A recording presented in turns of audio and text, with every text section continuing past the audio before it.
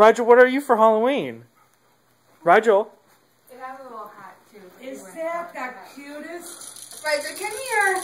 Look at it's got little guy on his back. Yeah. Oh my god. Where did you get this? Target.